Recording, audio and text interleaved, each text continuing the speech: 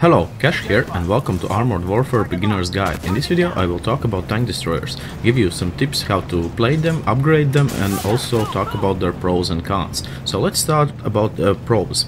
Now these vehicles are actually among the fastest vehicles in the game.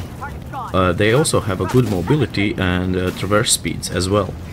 Most of the tank destroyers have wheels and wheels are actually a great armor in the game simply because whenever someone uh, destroys your wheel it will slow you down only a bit but it won't do any damage and it won't stop you immediately.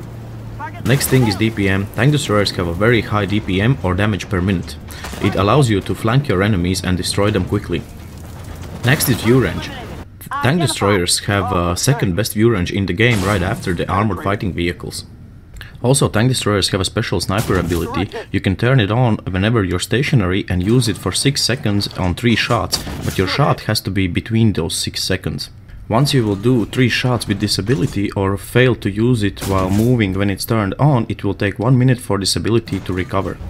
Now let's talk about cons. Tank destroyers have no armor. That means that anyone can penetrate you even with HE shells with full damage. Also, Tank Destroyers doesn't have high penetration and uh, that is a con because simply you can't fight uh, main battle tanks frontally, except shooting their weak spots. Also, most of the tank destroyers have a very bad gun depression and it, uh, it, won't allow you to play over hills. Since tank destroyers are very fast vehicles, they can take advantage positions in the maps, uh, spot their own enemies and kill them on their own, without AFV's help. If you don't have any targets, I would suggest that you simply change your position and attack enemies from the other angle. Your speed should allow you to do so. Also, another tip is don't rush too close to the enemies at the beginning of the battle. Since you don't know which enemies are spotted and where they are, they can simply be uh, at the place where you will go and destroy you as fast as they can, because tank destroyers are dangerous enemies and most of the players knows that and they will do everything to stop you from your attacks. Now let's head to the upgrades. Now, tank destroyers already have a good view range, good mobility and good guns, but uh, you can also make them a bit better by using retrofits, commanders, crew skills and also consumables. If you are aggressive player like I am, I would suggest that you focus on your gun.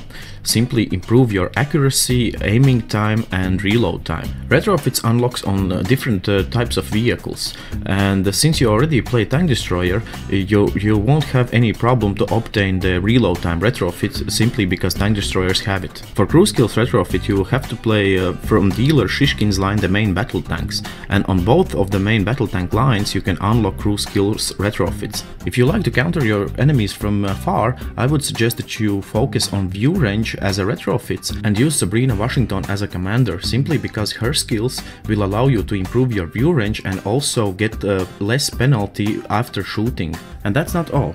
Playing tier 6 tank destroyer B1 Centauro, you will actually unlock both tier 7 tank destroyers at the same time without extra grinding experience for the other one. They will both open at the same time and you will be able to buy them both and in this case you will be able to get two tier 9 vehicles starting from one line only. And last but not least, Whenever you will get to Centauro 120, which is a tier 7 tank destroyer and it's uh, the greatest in that line from my opinion right after ERC uh, 90 F4 which is a tier 5 tank destroyer, you will be able to unlock tier 9 vehicle and that will allow you to save a lot of credits and also experience and time. To unlock tier 9 vehicle from Centauro 120, all you need to do is get 475,000 experience after you researched it fully. And you can choose any tier 9 vehicle to purchase. In conclusion, from my opinion, tank destroyers are great vehicles, simply because there are more ways to play them and you can choose whatever suits you best. They can snipe from far, they can uh, attack aggressively and also do flanking maneuvers as well as help your team wherever it's necessary simply because your speed allows you to move around the map very quickly. This was a simple guide covering tank destroyers and I hope it was helpful for all new Armored Warfare players. Thanks for watching everyone.